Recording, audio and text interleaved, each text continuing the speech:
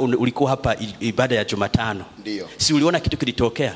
Uliona ule eh, mama alikuja hapa, alikuwa amepitisha siku zake za kujifungua kwa siku kumi. Sijui kama ulisikia ushuhuda ulitokea tena, vile mama aliongea hapa kwa ibada. Kumbe huyu mama vile baba alimzungumzia, alitoka hapa immediately na kaweza kujifungua. kwa jina la Yesu mwana wa Mungu aliye hai, wewe unapona na familia yenu inapona pona kwa jina la Yesu. Mwisho wa shida, kila mtu aliye kwenye hii picha, Yesu ashughulike kwa jina la Yesu.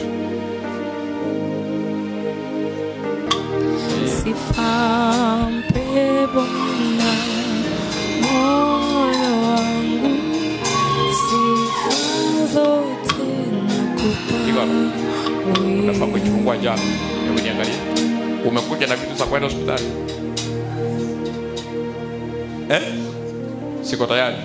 Baba, ninatoa huyu mtoto kwa tumbo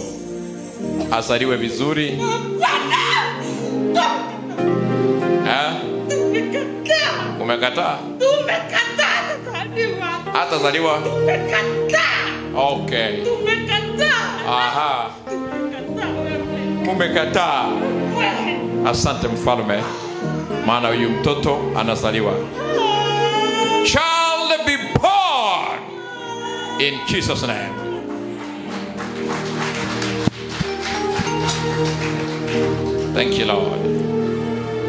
My Father, by word of my mouth, I initiate labor pains now. Child, you are welcome to serve the Lord on earth. Amen. Mwinue. Amen. Sasa nimeanzisha labor pains sasa. Kwa hiyo wewe ukitoka hapa unajifungua hospitali gani? Emma, wasienda ongea na bwana yako, mulete vitu, mwende mjifungue.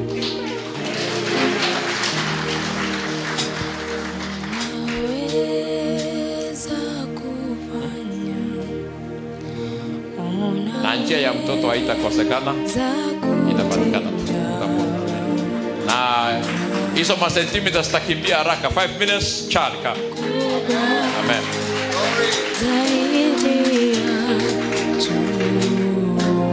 Wangapi walikuwa hapa ibada ya jumatano? How many were here on the wednesday service? You can i, I know you will bear witness. Mo, mo, morning mom god has done me well. After kuombewa jana mtoto alikuwa amepitisha siku but vile nilitoka church kufika hosi njia ilikuwa imefunguka. Nikajifungua salama mtoto kijana. Praise god. She had come here kwamba mtoto amepitisha masiku. Wangapi walikuwa? You saw that lady. Pastor akamwambia hata usiende nyumbani enda hospitali.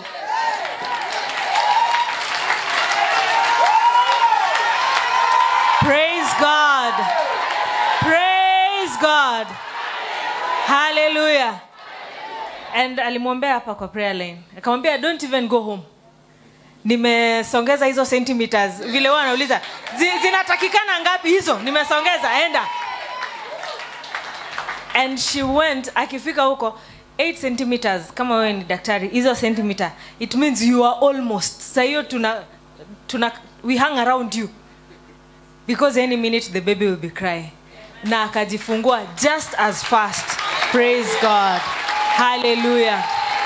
Is there anything too hard for our god